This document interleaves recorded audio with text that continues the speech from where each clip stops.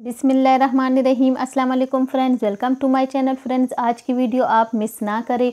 Video को full watch करें। Beginners के लिए बहुत ही ज़बरदस्त वीडियो है। बहुत ज़्यादा इन्फॉर्मेशन आपको मिलने वाली है।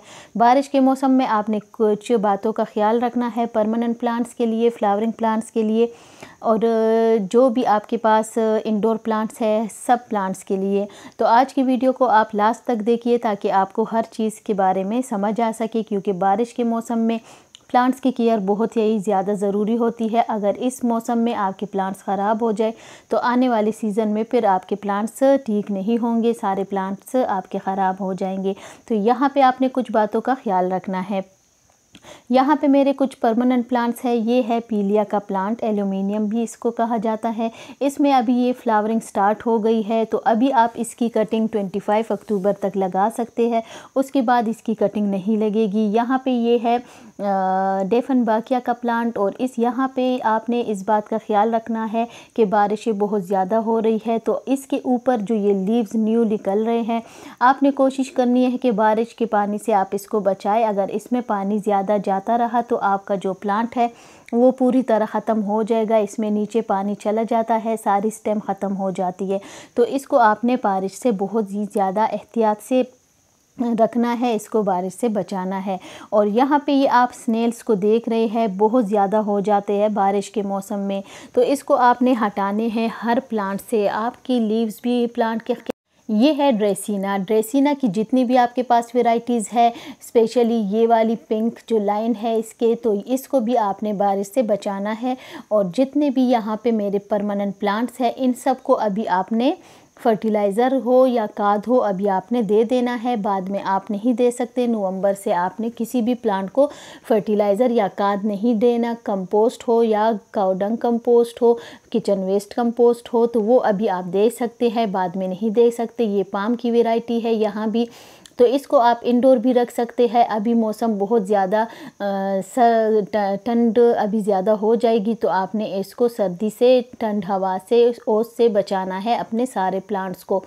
तो इसको आप, यहाँ पे आपने ग्रीन जो ज़्यादा ज़रा मोटी वाली आप ग्रीन नेट को इस्तेमाल करेंगी। अगर आपने नेट नहीं लगाया तो फिर आपका, आपके जितने भी प्लांट्स हैं, ये ख़त्म हो जाएँगे। ओस के साथ कोई भी प्लांट ठीक नहीं रहता, सारे प्लांट्स आपके ख़राब हो जाएँगे। यहाँ ये देखिए फ्रेंड मैंने इसको कट कर दिया एचवेरिया की, बहुत स्टेम लंबी हो गई थी। तो यहाँ पे आप इसकी ये रूट्स देख सकते हैं। इसको अभी मैं लगाऊँगी, इसको दो, इसके दो स्टेम हो जाएँगी, बीच में इसको मैं कट कर दूँगी और इसके जो लीव्स है, अभी आप इसके लीव्स को रखें। जितने ज़्यादा आप इसके लीव्स को रखेंगी प्रोपिगेशन के लिए तो इन सबसे इनकी ग्रोथ स्टार्ट हो जाएगी प्रोपिगेशन स्टार्ट हो जाएगी। और लीव को आपने इस तरीके से रखना है, ये देखिए फ्रेंड इस तरह से आपने काटना है कि बीच में जो नोड एरिया है, ये सही रहे। अगर बीच में कट हो गया लीफ तो फिर इसकी प्रोपिगेशन नहीं होगी।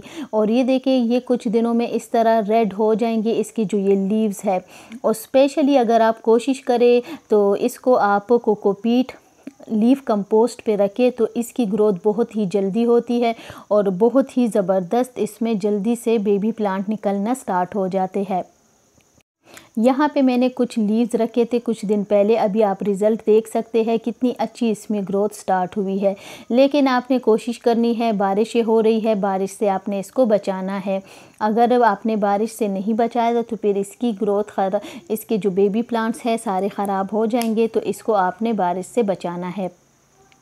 जितने भी सकुलेंट है, जिसके पास भी सकुलेंट है, उसमें जो ये एचवेरिया की तरह जितनी भी वेराइटीज़ है, इसको आप ऊपर से कट कर दे, अभी से। ये देखिए फ्रेंड यहाँ ऊपर से आप कट कर ले, उसको भी आप लगा ले मिट्टी में और फिर आप इसकी नई ग्रोथ देख सकते हैं। इसमें दो तीन बेबी प्लांट साइडों से निकलना स्टार्ट हो जाते हैं। अगर आपने कटिंग नहीं की तो एक ही स्टेम होगी और आपका प्लांट बुशी नहीं होगा, फिर खूबसूरत नहीं लगता। इसकी मैंने कटिंग की थी तो अभी आप देख सकते हैं इसमें कितने बेबी प्लांट निकलना स्टार्ट हुए हैं।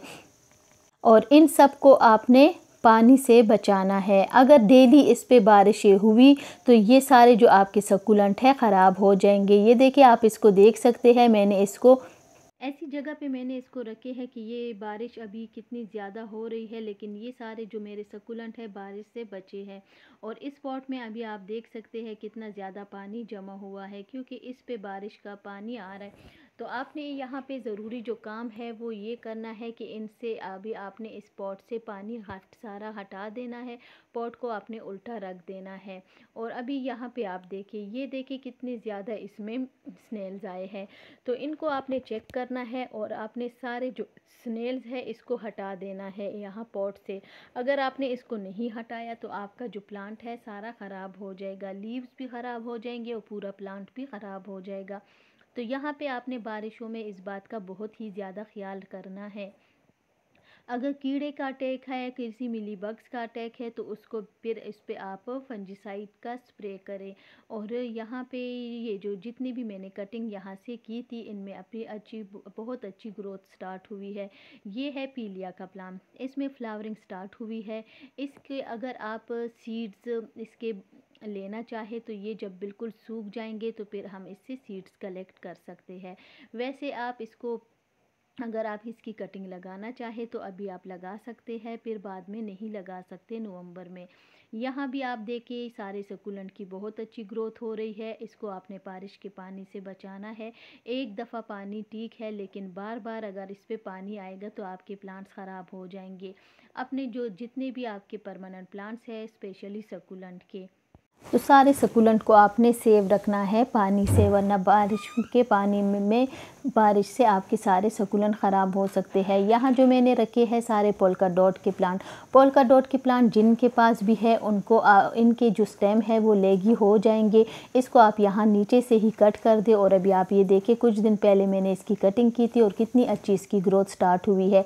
ये ऐसा प्लांट है कि समर में तो इसकी अच्छी ग्रोथ होती है विंटर स्टार्ट होते ही इसके स्टेम लंबे हो जाते हैं तो उसको आपने कट करके दोबारा इसकी नई ग्रोथ स्टार्ट होती है। और ये मैंने सकुलेंट के जो लीव्स रखे थे, उसके फिर मैंने अलग एक पॉट में लगा लिया और इसको ज़रा शेड में रखा है। डायरेक्ट सनलाइट में आपने कटिंग को नहीं रखना। यहाँ पे आप ये देखें पोलका डॉट की जो मैंने लंबी लंबी इसकी स्टेम ली थी, उसकी कटिंग लगाई थी। तो यहाँ इसकी बहुत ही अच्छी सब में ग्रोथ स्टार्ट हुई है। जितने भी मैंने स्टेम बड़े बड़े जो लिए कट कर दिए थे, उसको मैंने लगाए थे तो सब की अच्छी ग्रोथ हो रही है। इसी तरह अभी आप लगा सकते हैं, लेकिन नवंबर में कोई कटिंग भी आपकी नहीं लगेगी। किसी मिट्टी में भी आपकी कटिंग ग्रो नहीं होगी। ये टाइम है, अगर आप लगाना चाहे तो लगा ले। इसमें इस तरह से वाइट वाइट फ्लावर्स अभी स्टार्ट हो जाएँगे। इसके सीड्स भी बनेंगे। अगर आप सीड्स कलेक्ट करना चाहे तो वो कर सकते हैं। यहाँ ये देखिए फ्रेंड यहाँ पे है कुछ मेरे सिंगोनियम के प्लांट पिंक सिंगोनियम भी है और ग्रीन वाला भी। इसकी आप ग्रोथ देखिए, कितनी अच्छी इसकी ग्रोथ हो रही है, क्योंकि इसका मैंने एक पॉट चेंज किया, ये बहुत ही छोटा प्लांट था। पिछली वीडियो में आप देख सकते हैं, इसकी मिट्टी में मैंने लीव कंपोस्ट डाली है और सेंड और इसकी अभी आप देख सकती है कंडीशन की कितनी अच्छी इसकी ग्रोथ हो रही है। अगर आप पॉट चेंज करना चाहे किसी भी प्लांट अगर आपके पास छोटा प्लांट है नर्सरी से आप लाए हैं तो अभी आप उसको बड़े पॉट में शिफ्ट कर सकते हैं। कटिंग भी लगा सकते हैं कंपोस्ट भी डाल सकते हैं प्लांट को, ले फर्टिलाइज़र भी डाल सकते हैं। लेकिन नवंबर में फिर आपने ये कोई भी काम नहीं करना। फिर आपके जो प्लांट्स हैं, नवंबर में, नवंबर, दिसंबर, जनवरी इन थ्री मंथ्स में आपकी प्लांट्स की ग्रोथ भी नहीं होगी। कुछ प्लांट ऐसे होंगे कि उनके सारे लीव्स ख़त्म हो जाएँगे, लेकिन स्टेम ठीक रहेगी। फिर 15 फरवरी के बाद उसमें फिर नई ग्रोथ स्टार्ट होती है। और कुछ प्लांट ऐसे हैं कि उनकी सिर्फ़ ग्रोथ रुक जाएगी लीव्स नहीं गिरेंगे। यहाँ अभी आप ये देखिए, कुछ दिन पहले मैंने कोलियस की कटिंग लगाई थी। कोलियस के प्लांट की बहुत ज़्यादा मेरे पास कमेंट आते हैं। इंस्टा पे भी मैसेजेस आते हैं कि इनकी हम केयर कैसे करें विंटर में?